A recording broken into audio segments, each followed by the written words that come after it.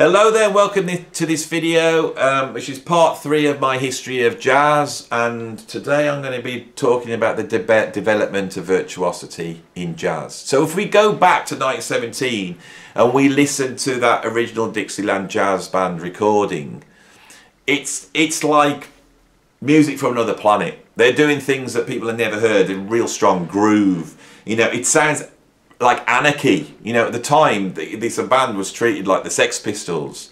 You know, they were ripping up the rules of music, and the reason was is because they were using sounds and noise and, and bringing that into the thing. But it, it, in in terms of sophistication, this music isn't sophisticated in its statement, as is Louis Armstrong's statement with the Hot Fives and Hot Sevens, which spanned from about 1925 to 1929. So in those eight years, something's happened. The musicians are listening to and they're learning from each other. You know, the the uh, as I've said before, the commercial um, structures of the recording music industry has actually pinpointed a want for this type of stuff. People are listening to these playing and they're, they're being transported by the groove, which is really visceral. But on the top of that is really incredible instrumental playing. And this instrumental playing has its own voice. So suddenly you can become a fan of Sidney Bechet because you love his sound. You can become a fan of Louis Armstrong because you love his sound or the sound of his voice. Right, and musicians are listening to that and they're communicating that to each other and they're learning from it.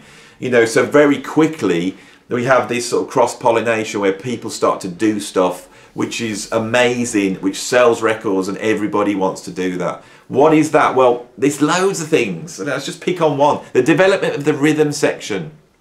You know, jazz has got this groove to it, it's got this swing to it. That's coming from the rhythm section. You know, the, the recordings in the early days can't really record the drums. God knows what the drums are doing in live gigs. You know, they got a bass drum, snare drum, and all these these contraptions, traps in front of them. But of course, they couldn't record that, so that often on a record they have to, you know, make do with a wood block. You know, the hi hats are really important here. We discussed these hi hats because they're a little bit quieter. and There's less bass. They could be recorded well. So in jazz, you suddenly see the development of the rhythm section. And what happens is all the other um, folk forms in America, blues and country music, they go, wow, that's good, that's selling records. And so that rhythm section is plonk, plonks into all these other styles of music. Um, you know, if you're list- if you think you play, you know, blues drums or you think you play country drums, no, you don't. You play jazz drums. The only drummers around in the 1920s are jazz drummers, and that's pretty much the stays like that till the 1950s. If you're a drummer, you're a jazz drummer. There's no other type of drumming. There's only jazz drumming right? The way the piano comps, that rhythm section gets transported into all the different styles of music. And so, you know, if you listen to blues, you've suddenly got, you know, people like Leroy Carr and Bessie Smith.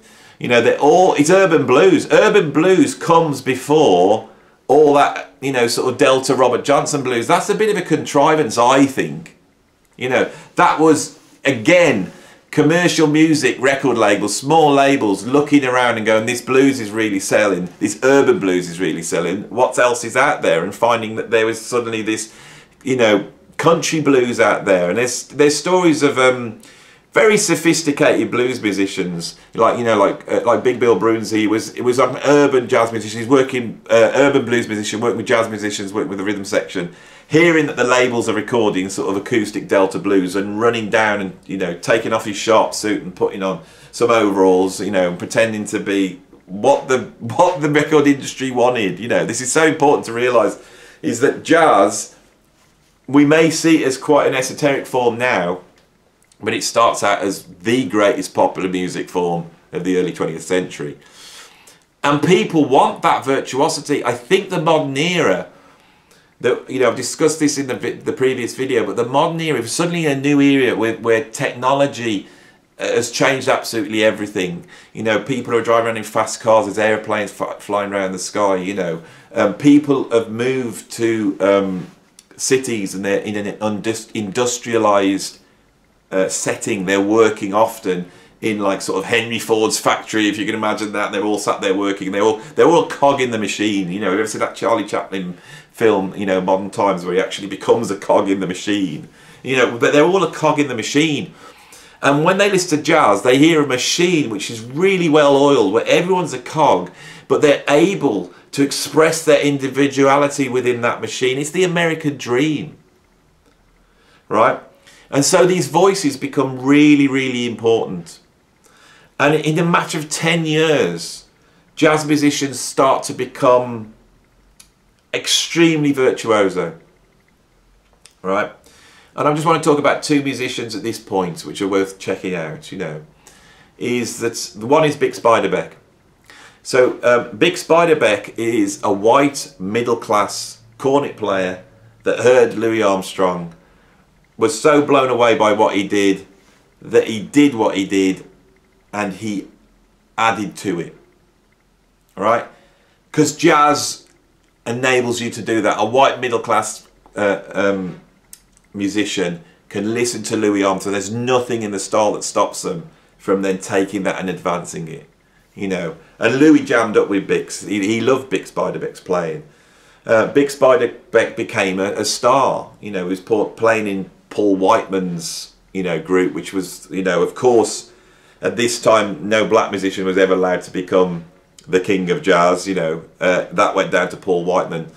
Um, Paul Whiteman, I think, would have worked with black musicians if the prejudice hadn't been against that. So he needed to find musicians that were able to, you know, play like Louis Armstrong, but were white, you know. Um, and I think it's it's a testament to jazz that, that jazz doesn't turn around and go, well, we discount what Bix Beiderbecke did. Because he was a virtuoso musician and he advanced the form, he, he becomes a superstar. Absolutely virtuoso. Um, and the melodies that he played, you know, Hoagy Carmichael wrote an incredible tune called Stardust, which has got an incredible melody and that melody was taken directly from hearing a, a Bix Beiderbecke solo.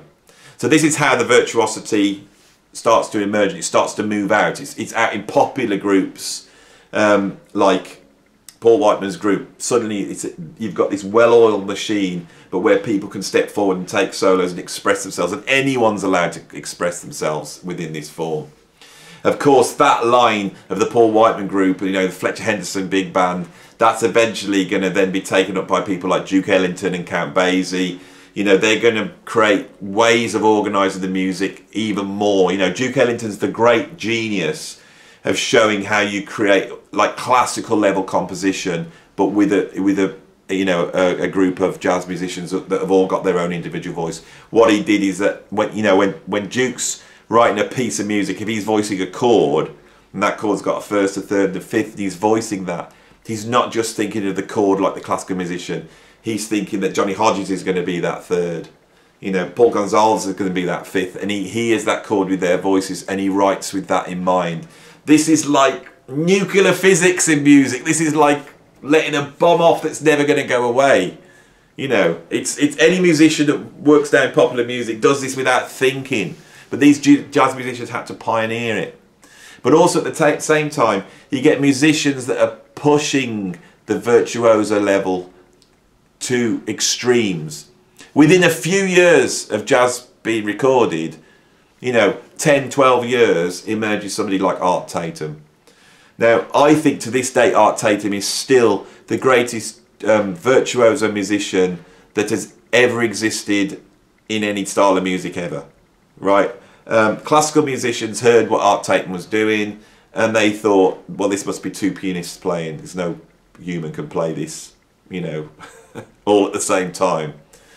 Art Tatum, I think, set a standard within jazz, along with people like Coleman Hawkins, who was the first great saxophone player, and then later on Lester Young. There's a whole bunch of real virtuoso musicians that are going to set a standard which can't be. And this this need to explore that through the 1920s and the 1930s is really interesting. But at the same time, something else happens in the history of jazz is these big bands, which are really an embodiment of the American dream, like I've said, really like these well-oiled machines with a leader, but where people can step up and have a voice, right? Um, and with geniuses like Ellington and Count Basie being able to organise that sound in new ways, creates a new style of music, which is swing. Now, jazz has been successful, but it was not going to be anywhere near as successful as swing. So in the 1930s, suddenly jazz hits its commercial peak. It's the biggest commercial form of music in the world at that time. You know, the, these people are stars. They're getting in Hollywood films. They're multimillionaires. We do see a division that is ba- is based upon the prejudices of American society, a division between the black bands and the white bands. So you do have underneath the pioneers, you have people like Duke Ellington, Count Basie, Fletcher Henderson, and then later on incredible bands like Chick Webb's band, you know, and, and singers emerging out of that like uh, Billie Holiday and Ella Fitzgerald. And then on top of that you have the superstars, which would be your Benny Goodmans and your Artie Shaws, you know, and the Dorsey brothers. And they're like film stars, you know, they're, they're like celebrities, you know. Um, it's really interesting that with Bix Beiderbecke we see the first sort of fatal superstar in music really. You know, there's been so many of them since, you know, from Robert Johnson to Jimi Hendrix, you know, these people who died young, uh, uh, uh, you know, the James Deans and all that sort of thing that becomes part of the sort of legendary folklore of popular music. Well, Bix is the first. Art Tatum's the first jazz virtuoso. And, uh, and in Gene Krupa, the drummer with uh, Benny Goodman band, we get this sort of first heartthrob, the first film star. You know, I, I find Gene Krupa a really interesting musician because he, he's got film star good looks, he's got so much charisma, and he can really play. You know, and so he's become a superstar because people wanted to see his sort of virtuosity. Virtuosity was a commercial um, requirement in the 1930s amongst these groups. Really interesting thing that never gets mentioned. You know, um, as jazz progresses through the 30s, those swing bands, although really, really commercial, are also pioneering new things going on. Okay, um, so for example, in Benny Goodman's band, he he um, he takes on a guitarist called Charlie Christian. Charlie Christian dies in 1942, aged about 23, but in the few years he's working, he basically invents the language of electric guitar playing, which is going to have a huge, huge influence on rock and roll. There's an example of the stuff that's going on in the swing bands at that time. Um, Jo Jones, you know, uh, and the rhythm section, of the Count Basie, are really laying down the, the, the foundations of a new type of rhythm section, which is really based around drums and bass and piano and guitar, you know, which is going to be the foundations again of, of, of rock music and pop music. You know, all this stuff's happening in the swing bands. And these incredible virtuoso musicians, I think, they're heading for something, which is the Second World War. So as we go into the Second World War, if you imagine, you know, American troops going to war, you can hear the sound of the swing bands as they go. But the and something else I'd like to mention is in the 1920s with jazz, the um, recording industry had really created jazz. I've said this in other videos. But um, for various reasons, they recorded that it was just, I think it was a lack of vinyl that happened in the 1930s. The depression, people not being able to buy records, is the record, the recorded industry, that like buying actual records, vinyl recording industry, it faded away. That was replaced by radio. You know, if you could afford a radio, then suddenly had music in your house. And I think the radio really, um, the radio really revolutionised jazz at that time. You know, Duke Ellington really found fame. You know, he was working in the Cotton Club and he was performing, and I think every week at least his his record he, he was broadcast live to the whole nation. Fact, this is what made the superstars. Technology is really important here. So as as as you go to war, we now have a, a form that is sold. You know, the recording industry as a, as the depression ends, suddenly they're buying records. People like Glenn Miller the superstars. They're selling millions and millions of records, and those records are going to become the uh, the sound of war. You know, the Second World War. It's going to become the sound of that. You know, but other musicians are pioneering other things at that time, right? And it's coming out of the big bands, and these musicians are jamming. They're jamming after hours in smaller groups in the 1940s there's going to be um, a collapse of the big bands they're, they're so a big band costs a lot of money to keep on the road you you have to um, have a lot of money to pay all the musicians to transport them to put them into hotels, right? Um, one of the things that the big uh, bands did is that they really, you know, created popular music. So, you know, Bing Crosby and Frank Sinatra come out of the big bands. You know, Frank Sinatra comes out of the Dorsey, Tommy Dorsey's band, I think, and and suddenly you got these pop stars and they're in films, right? And pop music actually starts to take over. The recording starts to take over, and I think it really creates what we see as modern pop music, which suddenly now becomes less interested in virtuosity and a lot more interested in the sort of film star, pop star, Frank Sinatra, and what's going to become Elvis Presley. That becomes really prevalent at that time, and the bottom drops out. You know, the the um, the bands have to get smaller, and so in the 1940s, you see a couple of things happening. The sort of commercial rhythm and blues aspect of the big bands gets shrunk down into much smaller groups and and you sort of get these sort of rhythm and blues bands people like you know Louis Jordan and um, you know Big Joe Turner and you know those, those types of bands emerge if this the form simplifies there we have the roots of rock and roll emerging in the 1940s um, but at the same time other musicians are trying to extend the form and they sort of accept that the form's going to be less commercial. They, they, it's as though certain musicians want to make the form an even more of an art form, but there's also like this punk thing going on in the 1940s, is that they want to create a, a style of music which is unplayable from the generation before. This, of course, is bebop. Um, bebop becomes in the 1940s the next great, you know, music form in jazz. It's divisive jazz at that, this point splits two ways. You've sort of got commercial jazz, which is sort of the Louis Jordan, it's got vocals, you know, it comes from Cab Calloway and all those type of artists, you know, the form simplifies, it's much more about songs, it's selling lots of records stills, but the, still, but the, the, the groups have shrunk down, it's becoming, um, the blues is coming to it even more and it's you get sort of these rhythm and blues artists coming through. And at the same time we get this even more sophisticated music, which is almost going to sort of shut off the generation that went before. How do they do that? Well, one of the things they do is they take the mechanism of jazz, which is improvising within a popular music form over the chord forms. And, and, and these musicians start to extend the forms. Now, who's doing this? Well, there's two musicians we really need to talk about here. One would be Dizzy Gillespie and one would be Charlie Parker. Dizzy Gillespie is the great organizer He's got his head on his shoulders. He's very solid, you know, virtuoso musician. Can do all this stuff, but he organises it and he creates a vehicle within it. You know, there's a whole bunch of musicians. You know, like I said, Charlie Christian, but there's people like Thelonious Monk, Kenny Clarke. All these musicians are experimenting with the form. What Charlie Parker famously does is um, he looks at these popular music forms. He looks at the chord progressions, and what jazz musicians do is they they they improvise through the chord tones of the chord progression. So if you got a C, you would play C major, you would play either C, E or G. They would be the um, the chord tones, and your improvisation is made out of winding through those chord tones. This is what Louis Armstrong does, as well as all the blues stuff and all the honking and, and other stuff we've talked about. But that's the basic way you improvise through a, um, a popular music form. What Charlie Parker does is he um, he looks at the extended notes so with a C major chord, that would be D the 9, it would be the F sharp, which would be the sharp 11, and it would be the A the uh, 13. He looks at those notes, and it gives him this much more colourful palette.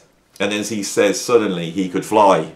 He could just fly through the chord progressions, and it almost like transforms the popular song into something else. So um, bebop musicians would take a popular music form, extend the chords, and then great create much more complex melodies over those forms. But that's not everything that they did, you see, that's not everything. Um, I think Charlie Parker was from Kansas City, and in Kansas City there was, um, within the big bands there, there was a style of music where you would play double time, you know, over the tune. So, you know, if the tune was like,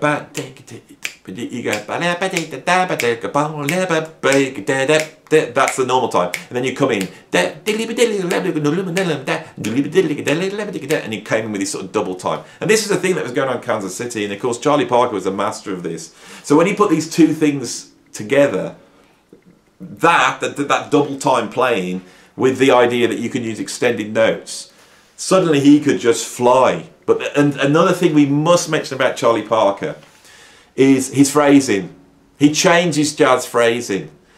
Like I said, Louis Armstrong was so important. That sort of swinging Louis Armstrong way of phrasing is in all jazz. It's everywhere. Every musician plays like that. You know, all the drummers are going to copy Louis, but Charlie Parker comes in with these different bebops, as is the word says, bebop.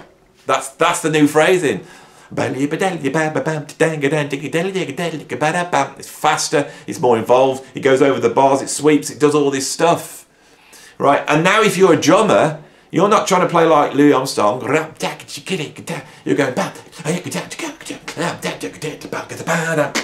If you're a sorry to spat then it's all these noises I'm having to make in my mouth. I hope you couldn't see that on the camera because it will uh, it will be disgusting, but I did it anyway. That's the way it is. We're in the we're in the. We, I I think it's very apt that I actually spat when we got to bebop because I think bebop, sophisticated as it is, everyone forgets that this is the punk of jazz. These are the new the new era coming in and wiping away the old. You know, the old guard, Louis hated bebop. He, he, he would go out and take the mickey out of it. You know, but here we have bebop with this new style of music, a new way of phrasing. It's going to change music all, over again. And here we are at the cusp now of the beginnings of rock and pop music, which is, I want to really now track how that develops, how the blues works with that, you know, on the next video. But for now, I will finish there in my part three of the history of jazz. I hope you're enjoying this. Um, there will be some more to come and I'm going to get into the nooks and crannies of some of the stuff I'm talking about as well. But I hope you like this anyway. Um, that's the end of the video. If you like it, like it. If you um, want to subscribe, subscribe. You know, please put your comments in there, you know, if, if this is the sort of thing you like and if there's anything you want me to talk about in more depth, you know, because I'm going, this is like a, it's not, it's not a fast overview of jazz. This is going to take a few videos, but it's, uh, it's um, it's it's re it's it's really nippy, and I know I'm missing a load of people out. God, am I? And I will go back, but anyway, I hope you like this, and uh, I will see you soon on the next video. Thank you very much. Bye.